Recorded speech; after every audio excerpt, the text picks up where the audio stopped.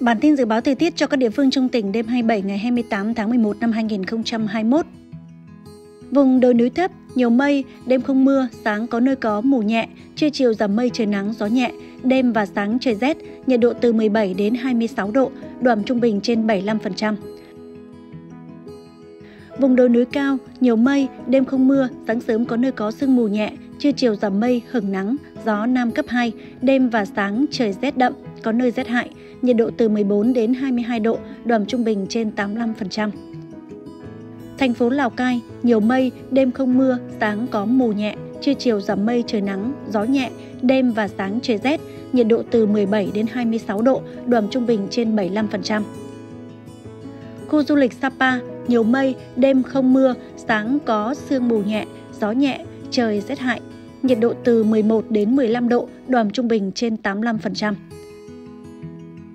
Khu du lịch Bắc Hà, nhiều mây, đêm không mưa, sáng có mù nhẹ, trưa chiều giảm mây, hưởng nắng, gió Nam cấp 2, đêm về sáng trời rét đậm, nhiệt độ từ 14 đến 22 độ, đoàn trung bình trên 85%. Thông tin thời tiết các khu vực trong nước đêm 27 ngày 28 tháng 11 năm 2021. Phía Tây Bắc Bộ có mây, đêm có mưa vài nơi, sáng sớm có sương mù, ngày nắng, gió nhẹ, đêm và sáng trời rét, nhiệt độ từ 13 đến 25 độ. Phía Đông Bắc Bộ có mây, đêm có mưa vài nơi, sáng sớm có sương mù và sương mù nhẹ rải rác, ngày nắng, gió Đông Bắc cấp 2, cấp 3, nhiệt độ từ 14 đến 27 độ.